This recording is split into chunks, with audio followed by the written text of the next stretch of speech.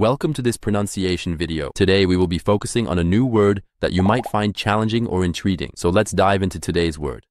Picora, which means Picora, a fictional term, lacks established meaning in English language. Let's say it all together. Picora. Picora. Picora. One more time. Picora. Picora. Picora. Thank you for joining us on this adventure in pronunciation. Remember, language is a journey, not a destination. Keep exploring, experimenting, and expanding your linguistic horizons. We'll see you next time.